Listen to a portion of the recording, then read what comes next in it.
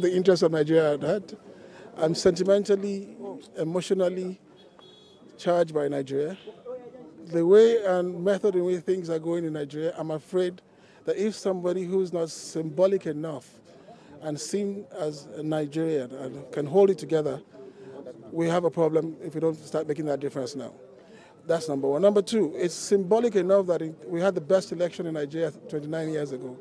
And with the new swearing-in date of June 12, 2023, it'll be a full 30 years of that election. And I think it's significant enough as a way to begin to build the rehabilitation and the healing of Nigeria. But how will the PRP be able to navigate through a highly monetized electoral environment? Kola Abiola says it must start with the people who must take their civic responsibilities seriously and elect credible and responsible leaders with the capacity to turn things around. We want people to come out and get their PVCs and you exercise those PVCs for their votes. We have the mandate. If we have the mandate, we will do and have the strength to go ahead and do the right things. And with that, if we're accountable, you can be sure we are going to be working for the voter. That's the biggest difference.